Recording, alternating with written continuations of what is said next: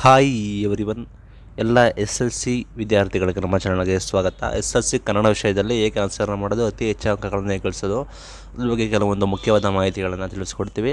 ಚಾನಲ್ಗೆ subscribe subscribe ಆಗಿ video ಇಷ್ಟ ಆದರೆ ಲೈಕ್ ನೋಡ್ಬೋದು ಇಲ್ಲ ನಿಮಗೆ ಗೊತ್ತಿರೋ ಹಾಗೆ ಈಗ ಬೋರ್ಡ್ ಚೇಂಜಸ್ ಚೇಂಜ್ ಚೇಂಜ್ ಆಗಿದೆ. Karnataka school examination assessment board ಅಂತ ಆಗಿದೆ ಕರ್ನಾಟಕ ಶಾಲಾ ಪರೀಕ್ಷೆ ಮತ್ತು ಮೌಲ್ಯ ನಿರ್ಣಯ ಮಂಡಳಿ ಅಂತ.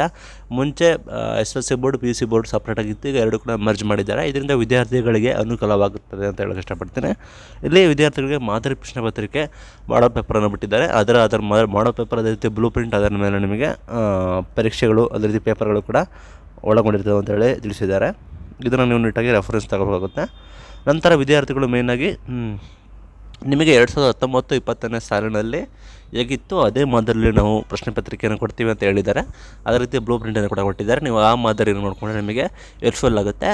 ನಿಮಗೆ ಮುಖ್ಯವಾದ ಕ್ವಶನ್ಸ್ಗಳು ನೀವು ಮಾಡಲ್ ಪೇಪರ್ಗಳು ಕೂಡ ಸಿಗ್ತದೆ. ಅದೇ ರೀತಿ ನಿಮಗೆ ಒಂಥರ ಹಳೆ ಪೇಪರ್ ಓಲ್ಡ್ ಪೇಪರ್ಗಳು ಕೂಡ ಸಿಗ್ತವೆ.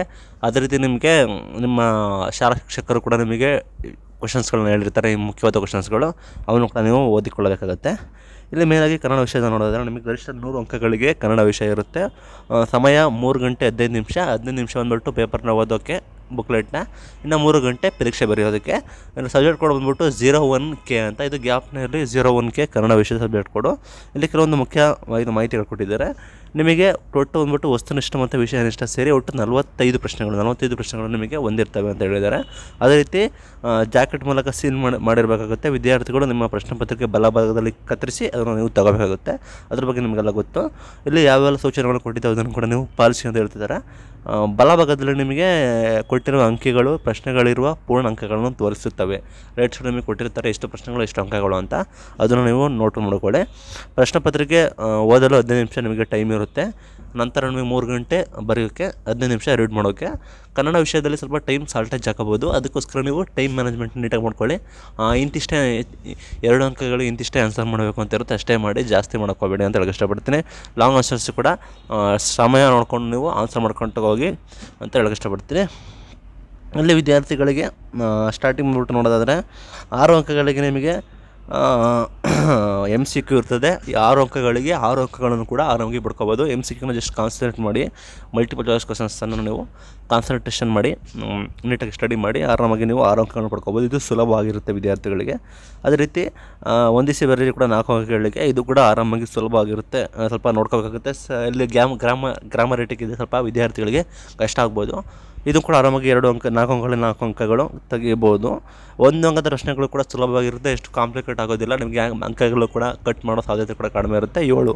ಇಲ್ಲಿ ಏಳು, ನಾಲ್ಕು, ಹನ್ನೊಂದು, ಹದಿನೇಳು ಅಂಕಗಳು.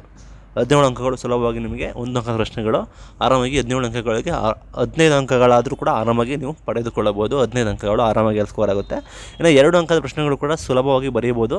ಯಾಕಂದರೆ ಎರಡು ಅಂಕದಲ್ಲಿ ಅಷ್ಟು ಮಾರ್ಕ್ಸನ್ನು ಕಟ್ ಮಾಡೋಕ್ಕೆ ಎಷ್ಟು ಆಪ್ಷನ್ ಇರೋದಿಲ್ಲ ಈಸಿಯಾಗಿರುತ್ತೆ ನಿಮಗೆ ಯಾವ್ಯಾವ ಪಠ್ಯ ವೈಸು ಅಂತೆಲ್ಲ ಮಾಡಿಫೈ ಮಾಡಿದ್ದಾರೆ ಯಾವ್ಯಾವ ಪಠ್ಯ ವೈಸು ಯಾವ ಇಂಪಾರ್ಟೆಂಟ್ ಕ್ವಶನ್ಸ್ ಅಂತ ನೋಡಿದ್ರೆ ಎರಡು ಅಂಕದ ಪ್ರಶ್ನೆಗಳು ಆರಾಮಾಗಿ ಇಪ್ಪತ್ತು ಅಂಕಗಳಿಗಿರ್ತವೆ ಇಪ್ಪತ್ತು ಅಂಕಗಳು ಇಪ್ಪತ್ತು ಅಂಕಗಳನ್ನು ಕೂಡ ಪಡ್ಕೋಬೋದು. ಇಲ್ಲಿ ನಿಮಗೆ ಮೂವತ್ತೈದು ಮಾರ್ಕ್ಸ್ ಆಗುತ್ತೆ.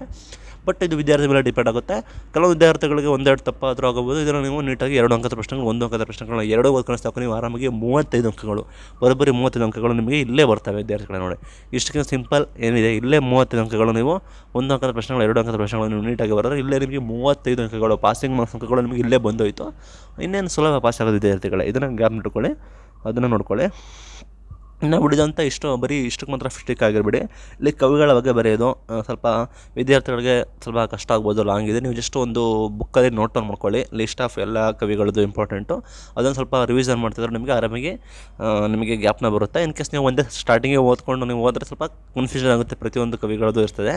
ಅದಕ್ಕೋಸ್ಕರ ಇದನ್ನು ನೋಟ್ ಔಟ್ ಮಾಡ್ಕೊಳ್ಳಿ. ಇಲ್ಲಿ ಆರು ಅಂಕಗಳಿಗೆ ಆರಾಮಾಗಿ, ನನ್ನ ಪ್ರಕಾರ ಆರು ಅಂಕಗಳಿಗೆ ಆರಾಮಾಗಿ ನಾಲ್ಕು ಅಂಕಗಳಾದರೂ ಆರಾಮಾಗಿ ತೆಗಿಬೋದು ವಿದ್ಯಾರ್ಥಿಗಳೇ. ಇಲ್ಲೇ ಇಲ್ಲೇ ನಿಮಗೆ ನಲವತ್ತು ಅಂಕಗಳು ಆಗುತ್ತವೆ. ನೋಡ್ಕೊಳ್ಳಿ, ನಲವತ್ತು ಅಂಕಗಳು ಆರಾಮಾಗಿ ಇಲ್ಲೇ ಇಷ್ಟಕ್ಕೆ ನಲವತ್ತು ಅಂಕಗಳನ್ನು ನೀವು ಆರಾಮಾಗಿ ತೆಗಿಬೋದು ಇದನ್ನು ಕೂಡ ನೋಟ್ ಮಾಡ್ಕೊಳ್ಳಿ. ನಂತರ ಪದ್ಯ ಭಾಗದಲ್ಲಿ ನೀವು ಪ್ರಸ್ತಾರ ಹಾಕಿ ಗಣ ವಿಭಾಗ ಮಾಡಿ ಇದನ್ನು ಗ್ರಾಮರೇಟಿಕ್ಕು ಮೂರು ಅಂಕಗಳಿಗೆ ಸುಲಭ ಇರ್ತದೆ. ಇದು ನೀವು ಇದನ್ನು ಸ್ಟಡಿ ಮಾಡಿಕೊಂಡ್ರೆ ಇಲ್ಲೂ ಕೂಡ ಮೂರು ಅಂಕಗಳನ್ನು ಪಡ್ಕೋಬೋದು ಆ, ಅದನ್ನು ನಿಮ್ಮ ನಿಮ್ಮ ವೈಯಕ್ತಿಕ ಬಿಟ್ಟಿದ್ದು. ನಾನು ಇಷ್ಟು ಹೇಳ್ಕೊಟ್ಟಿದ್ದೀನಿ ಆರಾಮಾಗಿ ಫೋರ್ಟಿ ಮಾರ್ಕ್ಸನ್ನು ಸ್ಟಾರ್ಟಿಂಗ್ ಒಂದು ಅಂಕದ ಪ್ರಶ್ನೆಗಳು ಎರಡು ಅಂಕದ ಪ್ರಶ್ನೆಗಳು ಅದರಲ್ಲೂ ನೀವು ಆರಾಮಾಗಿ ತಗೋಬೋದು ನಂತರ ಅಲಂಕಾರ ಬರೀರಿ ಇದು ಕೂಡ ಗ್ರಾಮರಿಟಿಕ್ ನೀವು ಕೂಡ ಗ್ರಾಮರನ್ನು ತಗೊಂಡಿದ್ರೆ ಆರಾಮಾಗಿ ನೀವು ಮಾಡ್ಬೋದು. ಮತ್ತು ಗಾದೆ ಬರೆಯೋದು ವಿದ್ಯಾರ್ಥಿಗಳೇ, ಇದು ಸುಲಭವಾದ ಗಾದೆ, ನೀವು ಓನಾಗಿ ಬರೆಯೋಕ್ಕಾಗುತ್ತೆ. ಅದು ಶಕ್ತಿಗಿಂತ ಯುಕ್ತಿ ಮೇಲೆ ಅಥವಾ ಕಟ್ ಕಟ್ಟುವುದು ಕಠಿಣ, ಕೆಡುವುದು ಸುಲಭ. ಈ ರೀತಿ ನಿಮಗೆ ನಾನಾ ಗಾದೆಗಳಿರ್ತವೆ ಇದನ್ನು ಆರಾಮಾಗಿ ನೀವು ಸಿಂಪಲ್ಲಾಗಿ ಮೂರು ಅಂಕಗಳಿಗೆ ಮೂರು ಅಂಕಗಳನ್ನು ಪಡ್ಕೋಬೋದು ಇಲ್ಲಿ ನೀವು ಗಮನಿಸಿ ಕಾಲಹರಣ ಮಾಡಬೇಡಿ. ಮೂರು ಅಂಕಗಳಿಗೆ ಎಷ್ಟು ಸೀಮಿತ, ಅಷ್ಟೇ ಬರೀ ಜಾಸ್ತಿ ಬರೋಕ್ಕೆ ಹೋಗಬೇಡಿ. ನಿಮಗೆ ಯಾಕಂದರೆ ಟೈಮ್ ಮ್ಯಾನೇಜ್ಮೆಂಟ್ ಮಾಡ್ಕೊಳ್ಳಿ. ಇನ್ ಕೇಸ್ ನಿಮಗೆ ಟೈಮ್ ಮ್ಯಾನೇಜ್ಮೆಂಟಲ್ಲಿ ಪರ್ಫೆಕ್ಟ್ ಇದ್ದರೆ ನಿಮಗೆ ಸಮಯ ಸಾಕು ಅಂತ ಹೇಳಿದ್ರೆ ಬೇಕಾದ್ರೆ ಜಾಸ್ತಿ ಬರೀರಿ. ಗಾದೆಗಳನ್ನು ಆರಾಮಾಗಿ ಪಡ್ಕೋಬೋದು ಗ್ರಾಮರ್ ಸ್ವಲ್ಪ ಟಫ್ ಅನಿಸಿದ್ರು ಕೂಡ ಗಾದೆಗಳು ಆರಾಮಾಗಿ ಪಡೆಯೋ, ತೆಗಿಬೋದು. ನಂತರ ಏಳಿಕೆ ಸಂದರ್ಭ ಅರೌಂಡ್ ಹದಿನೆಂಟು ಅಂಕಗಳಿಗೆ ಬರುತ್ತೆ. ಇದು ಕೂಡ ಸುಲಭ ಆಗುತ್ತೆ. ಹದಿನೆಂಟು ಅಂಕಗಳು, ಹದಿನೆಂಟು ಅಂಕಗಳಿಗೆ ಆರು ಪ್ರಶ್ನೆಗಳು. ಇದು ಕೂಡ ಆರಾಮಾಗಿ ನೀವು ಆನ್ಸರ್ ರೈವಲ್ ಮಾಡ್ಬೋದು. ಇದು ನಿಮ್ಮ ನೀವು ಇದಕ್ಕೆ ಗಾದೆ ಸಂದರ್ಭ ಇದು ಸಾರಿ ಈ ಸಂದರ್ಭ ವಿವರಿಸಿ ಇದನ್ನೆಲ್ಲ ನೀವು ಸ್ವಲ್ಪ ಬುಕ್ನ ಸ್ಟಡಿ ಮಾಡಬೇಕಾಗುತ್ತೆ. ಅಲ್ಲಿ ಯಾವ್ಯಾವ ಟೈಮು ಸಮಯ ಹೇಳಿಕೆ ಯಾವ ಕಡೆ ಬರುತ್ತೆ ಅದನ್ನೆಲ್ಲ ನೀವು ಗೊತ್ತಾಗೋದಿಲ್ಲ. ಅದಕ್ಕೋಸ್ಕರ ಇದಕ್ಕೊಂದು ಬುಕ್ ರೀಡ್ ಮಾಡಬೇಕಾಗುತ್ತೆ. ಎಲ್ಲ ಹೋದ್ಮೇಲೆ ಇದನ್ನು ಲಾಸ್ಟಾಗಿ ಲಾಸ್ಟಿಗೆ ಆಪ್ಷನ್ ಆಗಿ ಇಟ್- ಇಟ್ಕೊಳ್ಳೋದ್ರು ಇಟ್ಕೋಬೋದು. ಅಥವಾ ನಿಮಗೆ ನೀವು ಮುಂಚೆ ಎಲ್ಲ ಪ್ರಿಪ್ರೇಷನ್ ಮಾಡಿರ್ತೀರ ಮಿಡ್ ಟರ್ಮ್ಗೆಲ್ಲ ಅದಕ್ಕೂ ಕೂಡ ನಿಮಗೆ ಹೆಲ್ಪ್ಫುಲ್ ಆಗ್ಬೋದು. ಅದನ್ನು ಕೂಡ ನೋಟ್ ಮಕ್ಕಳು ಇಲ್ಲೂ ಹದಿನೆಂಟು ಅಂಕಗಳಿಗೆ ಆರಾಮಾಗಿ ಪಡ್ಕೋಬೋದು. ನಂತರ ಪದ್ಯ ಭಾಗ ವಿವರಿಸಿ ಕೂಡ ಇರ್ತದೆ ಆಪ್ಷನ್ ಇರ್ತದೆ. ಎರಡರಲ್ಲಿ ಒಂದು ನೀವು ಪದ್ಯಗಳನ್ನು ಆಲ್ರೆಡಿ ಸ್ಟಡಿ ಮಾಡಿರ್ತೀರ, ಓದಿರ್ತೀರ, ಇದು ಕೂಡ ಸುಲಭ ಆಗ್ಬೋದು. ನನ್ನ ಅನಿಸಿಕೆ. ನಂತರ ಅರ್ಥ ಮಾಡಿಕೊಂಡು ಇದ್ರ ಸಾರಾಂಶ ಬರೀರಿ ಅಂತ ಇದು ಸ್ವಲ್ಪ ಟಫ್ ಆಗ್ಬೋದು ವಿದ್ಯಾರ್ಥಿಗಳಿಗೆ. ಹಳೆಗನ್ನಡ ಎಲ್ಲ ಇರ್ತದೆ. ಇದನ್ನು ಕೂಡ ನೀವು ಲಾಸ್ಟ್ ಆಪ್ಷನಾಗಿ ಇಟ್ಕೊಂಬಿಟ್ಟು ಓದಬಹುದು. ನಂತರ ಎಂಟು ಅಥವಾ ಹತ್ತು ವಾಕ್ಯದ ಪ್ರಶ್ನೆಗಳು ಇಲ್ಲಿ ಇಲ್ಲಿ ಬಂದ್ಬಿಟ್ಟು ಕೊಟ್ಟಿದ್ದಾರೆ. ಅಥವಾ ಒಂದು ಅಥವಾ ಎರಡು- ಎರಡರಲ್ಲಿ ಒಂದು ಅಂತ ನೋಡೋಕ್ಕಾಗುತ್ತೆ ವಿದ್ಯಾರ್ಥಿಗಳೇ. ನಂತರ ಇಲ್ಲೂ ಒಂದು ಆಪ್ಷನ್ ಇದೆ, ಎರಡರಲ್ಲಿ ಒಂದು. ಈ ರೀತಿ ನಿಮ್ಗೆ ಆಪ್ಷನ್ ಇದೆ. ಇದು ಬರೋಬ್ಬರಿ ಬರೋಬ್ಬರಿ ನಾಲ್ಕು ಅಂಕಗಳಿಗೆ ಇದನ್ನು ನೀವು ಆರಾಮಾಗಿ ನಾಲ್ಕು ಅಂಕಗಳು ಆರಾಮಾಗಿ ಎರಡರಿಂದ ಮೂರು ಅಂಕಗಳನ್ನ ಪಡ್ಕೋಬೋದು. ಪಕ್ಕಾ ಪರ್ಫೆಕ್ಟಾಗಿ ಬರೆದ್ರೆ ನಾಲ್ಕು ಅಂಕಗಳು ನಾಲ್ಕು ಬರ್ತವೆ.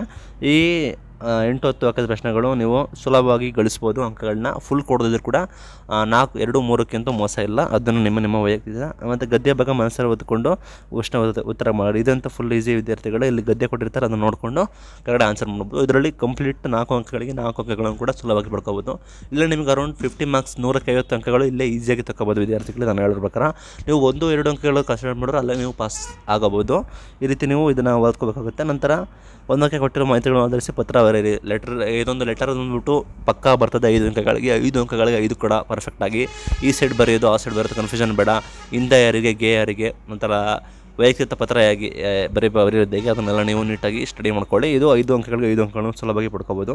ನಂತರ ಪ್ರಬಂಧ ಐದು ಅಂಕಗಳು, ಇದು ಕೂಡ ಆರಾಮಾಗಿ ಸುಲಭವಾಗಿರ್ತದೆ ಇಲ್ಲಿ ನೀವು ಯೋಚನೆ ಮಾಡಿದ್ರೆ ನಿಮ್ಗೆ around fifty to sixty marks ನಿಮಗೆ ಸುಲಭವಾಗಿ ಗಳಿಸುವ ಸಾಧ್ಯತೆ ಇದೆ, ಹೆಚ್ಚಾಗಿದೆ. ಯಾಕಂದರೆ ನಿಮಗೆ ಅಲ್ಲೇ ತರ್ಟಿ ಫೈವ್ ಮಾರ್ಕ್ಸ್ ಆರೋಗೆ ಒಂದು ಅಂಕದ ಎರಡು ವರ್ಷ ಪ್ರಶ್ನೆಗಳು, ಗಾಜಿ ಲೆಟರ್ ರೈಟಿಂಗ್ಗಳು ಅದೇ ರೀತಿ ನಿಮಗೆ ಎಂಟು ಅಂಕ, ಎಂಟರಿಂದ ಹತ್ತು ವಾಕ್ಯದ ಪ್ರಶ್ನೆಗಳು ಅಲ್ಲಿ ನೀವು ಸುಲಭವಾಗಿ ಗಳಿಸ್ಬೋದು. ಇನ್ನು ನೀಟಾಗಿ ಬುಕ್ಸಲ್ಲಿ ಓದೋ ಸಂದರ್ಭ, ಇನ್ನು ಗ್ರಾಮರ್ ಗ್ರಾಮರ್ ಸಪ್ರೇಟಾಗಿ ಇಟ್ಕೊಬಿಟ್ರೆ ಗ್ರಾಮರ್ ಸ್ವಲ್ಪ ಕಷ್ಟ ಅನಿಸಿದ್ರು ಕೂಡ ನೀವು ಐವತ್ತರಿಂದ ಅರವತ್ತು ಅಂಕಗಳನ್ನು ನೀವು ಈ ಪಾರ್ಟಲ್ಲಿ ಈ ಗದ್ಯ, ಪದ್ಯ ಭಾಗದ ಪಾಠದಲ್ಲಿ ನೀವು ಸ್ಟಡಿ ಮಾಡ್ಬೋದು. ಅದಕ್ಕೋಸ್ಕರ ವಿದ್ಯಾರ್ಥಿಗಳೇ ನೀವು ನೀಟಾಗಿ ಒಂದು ಪಾಯಿಂಟ್ ನೋಟೆಡ್ ಮಾಡಿಕೊಂಡು ಯಾವ ಭಾಗಗಳು ಓದಬೇಕು? ಫಾರ್ ಎಕ್ಸಾಂಪಲ್ ಇವತ್ತು ಒಂದು ಅಂಕದ ಪ್ರಶ್ನೆಗಳು, ಎರಡು ಅಂಕದ ಪ್ರಶ್ನೆಗಳು ಒಂದು ಟೈಮ್ ಅಂತ ಇರುತ್ತದೆ. ಆಗ ನೀವು ಎಲ್ಲ ಓದ್ಕೊಂಡು ಹೋಗೋದು. ಅಂದರೆ ಲಾಂಗ್ ಆನ್ಸರ್ಸ್ ಎಲ್ಲ, ಪ್ರಬಂಧ ಒಂದು ಕಡೆ, ಅದೇ ರೀತಿ ಗಾದೆ ವಿವರಿಸಿ ಒಂದು ಕಡೆ. ಈ ರೀತಿ ನೀವು ನೀಟಾಗಿ ನೋಟನ್ನು ಮಾಡ್ಕೊಂಡು ಸ್ಟಡಿ ಮಾಡಿ, ನಿಮಗೆ ಪರೀಕ್ಷೆ ಕೂಡ ಸುಲಭ ಆಗ್ತದೆ. Thank you for watching till end